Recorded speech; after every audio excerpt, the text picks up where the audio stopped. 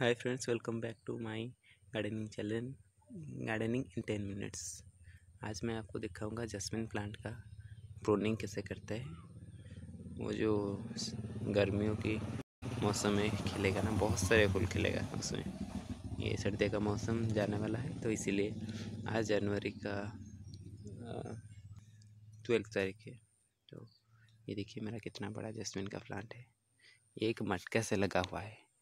मैं इसको बताऊँगा आपको कि कैसे इसका रूट प्रूनिंग करते हैं, उसके बाद उसके ब्रांच की प्रूनिंग किया जाएगा।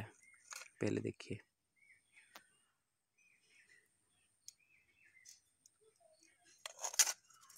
ऐसे ऐसे करके उसका साइड का सारे मिट्टी, पुराना मिट्टी अप टू सेवेंटी परसेंट निकाल देना है हमें।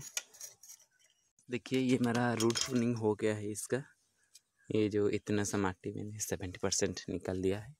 अब देखिए इसमें कितना सा एम्प्टी स्पेस आ गया है। इसमें मैं नया माटी और खाद भर दूँगा, जिसके थ्रू ये जो मोगरा का प्लांट है ना तो ये बहुत सारा ग्रो कर जाएगा अच्छे से।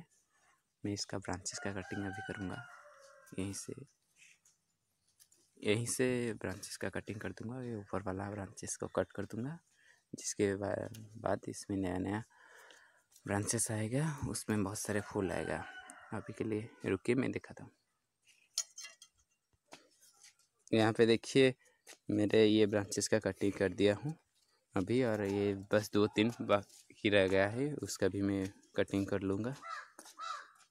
अभी देखिए फ्रेंड्स मैंने ये सारे ब्रांचेस को कटिंग कर दिया हूँ। अभी बस इसमें थोड़ा सा खाद और मिट्टी भरना है।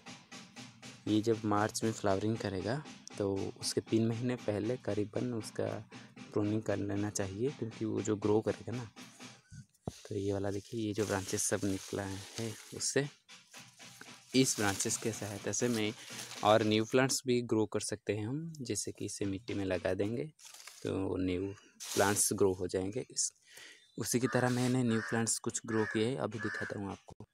यहाँ पे देखिए, ये सारे उसका ब्रांचेस से ही कटिंग से बनाया हुआ है न्यू प्लांट ये देखिए, इसका मैंने कटिंग कर लिया था तो इसमें नया ब्रांचेस आ गया है, उसका फुलनिंग नहीं कर दिया था। यहाँ पे देखिए, इतने सारे, ये सारे एक बनाया हुआ है। इसमें मैंने बस खाद दे दूँगा। खाद भर लूँगा तो इसमें भी बहुत सारी फ्लावरिंग आएगी। जब फ्लावरिंग आएगा, तब मैं फिर से आपको अपने न्यू वीडियो के साथ आऊँगा।